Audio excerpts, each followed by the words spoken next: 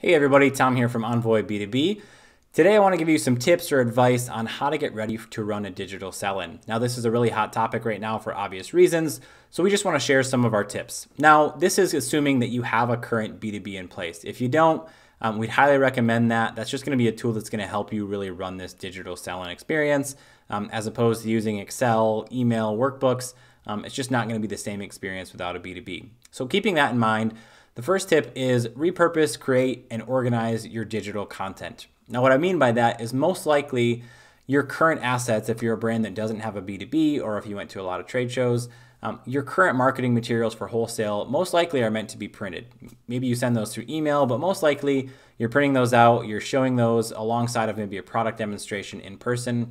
Now, when you move to a fully digital world or you offer a digital experience, those assets need to be a little bit different. Keep in mind that the retailer might not have that physical product in front of them.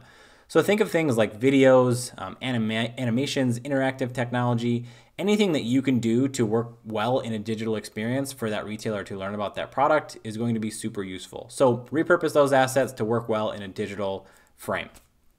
The second thing is get your retailers ready. Now, this is with anything new. So if you're rolling out a new system, um, anything new that a retailer has to think about, you really should prepare them and communicate beforehand. So communicate what this change is going to be, communicate how it's going to use, when it's going to happen. Now that should be through email, that should be by way of your reps notifying them. Um, and you should give them opportunities to learn how to do this before you actually launch it. So whether that's you know trainings that you host, whether that's documentation that you have, um, you should make sure that retailers are truly ready for this because if they're not, um, they're going to have a little bit of a guard up when you launch this because they won't know how to use it quite yet. And in that, you know, make sure that they also have ways to ask questions and solicit feedback so that next time it can be even better. The third thing on the list, the third tip and the final one is train your sales staff. Now, this may seem very obvious, but it's something that um, a lot of brands just don't do enough. And that is make sure that your reps know how to use the system, but also make sure they know how their retailers are supposed to use the system. Now, something you know that we see in all of our research, and you can find this on our website, is that retailers rely heavily on their sales reps when they have questions.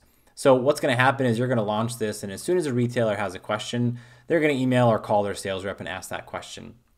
Now, if the rep hasn't fully adopted this or they don't know how to use it, um, chances are that's going to trickle down to the retailer and they're just not going to use it as well. So make sure that the reps know how to use the tools available to them, know how to use it to their advantage, and also know how the retailer should be using this platform because that's ultimately going to lead to you know you as a brand having success with both your reps and your retailers and having a successful sell-in um, in this new digital way.